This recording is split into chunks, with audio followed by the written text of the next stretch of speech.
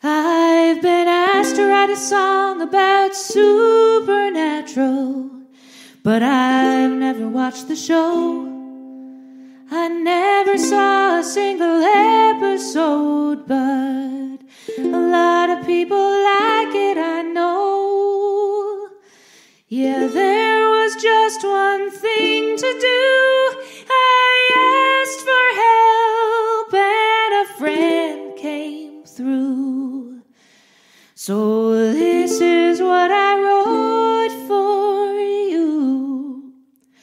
Supernatural as described to me by my 30 something queer best friend who was on Tumblr a lot way back when it was popular.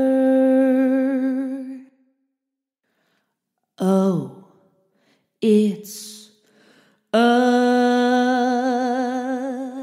two guys that wanna fuck each other. They're also brothers and they wanna fuck each other. Just two straight guys that wanna fuck each other, and a bunch of other guys that wanna fuck each other. There's also an angel who wants to fuck a brother, and probably a demon who wants to fuck the other. But the Winchester boys just wanna fuck one another, and that's what the show's about.